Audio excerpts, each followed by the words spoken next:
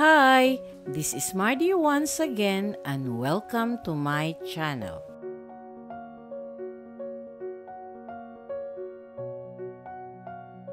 On July 4, 1966, the popular British rock band The Beatles played two shows at Rizal Memorial Football Stadium in Manila to over 80,000 fans.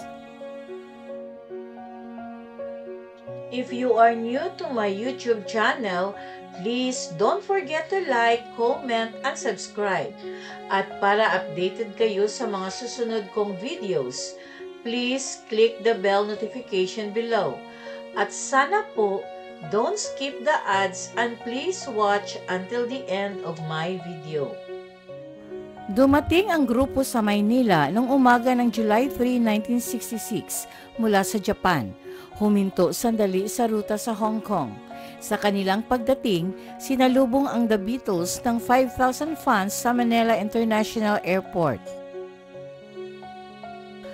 Ang grupo ay pinatakbo sa isang cavalcade na sinamahan ng anim na pulis na nakamotorsiklo sa Philippine Navy Headquarters kung saan ginanap ang isang press conference.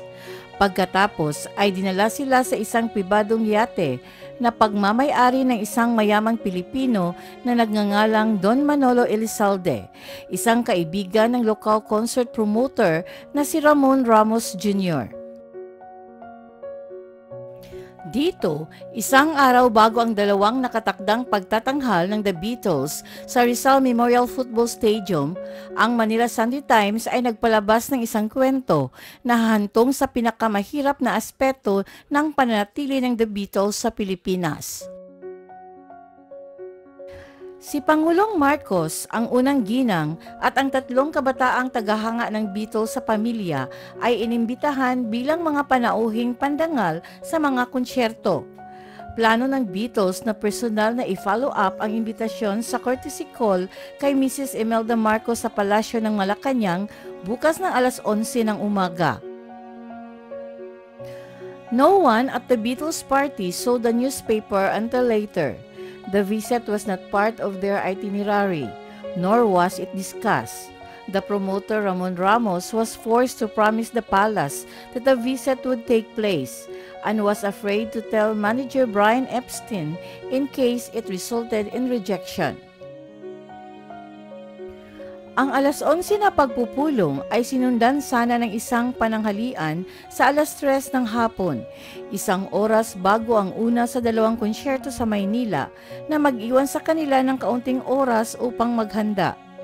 Ramos was caught between hoping to either hurt the palace or the Beatles, and so he left things as they were.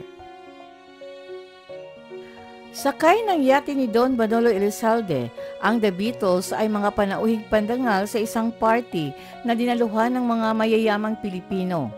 Hanggang 4 a.m. lang sila pinayagan ni Brian Epstein na umalis para sa kanilang suit sa Hotel Manila.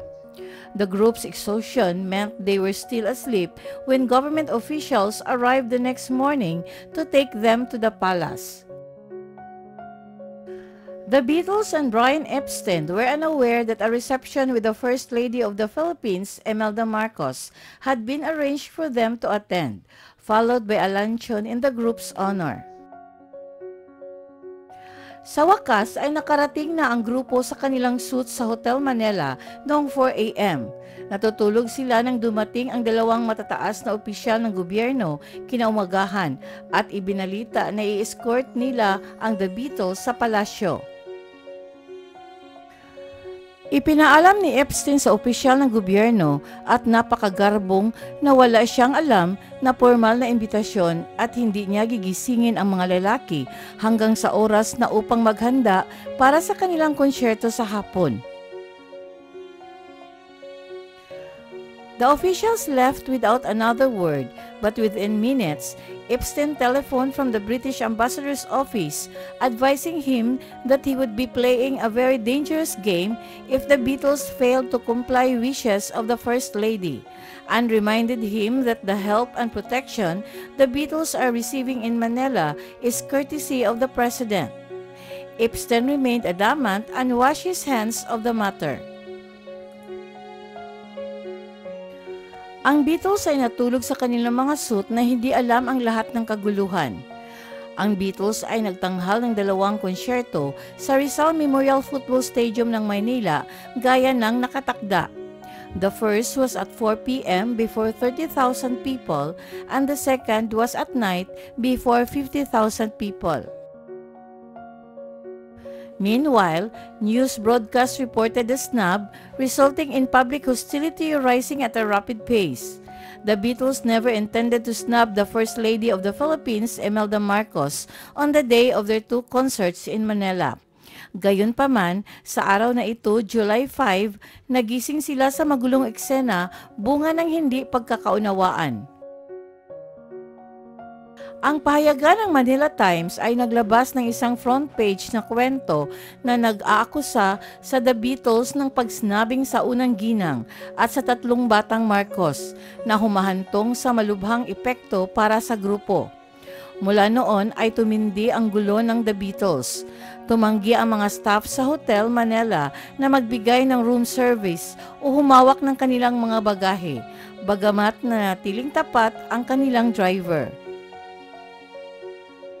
Ang kanilang proteksyon sa pulisya ay biglang nawala. Ang grupo at ang kanilang maliit na entourage ay kailangang mag-isa na pumunta sa paliparan ng Maynila.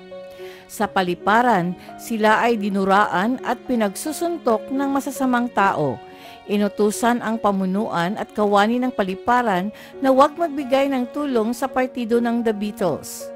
Huminto sa paggana ang mga escalator habang papalapit sa kanila na pinipilit silang magdala ng mabibigat na amplifier at mga kahon na instrumento. The Beatles were finally able to leave Manila for New Delhi, India, via a brief refueling stop in Bangkok, Thailand, arriving safely back in the UK on July 8 at 6 a.m. Thank you very much for watching. And according to Martin Luther King Jr., out of the mountain of despair, a stone of hope.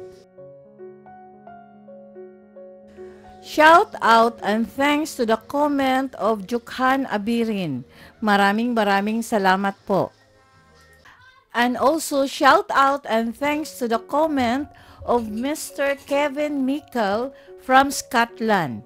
Maraming maraming salamat po.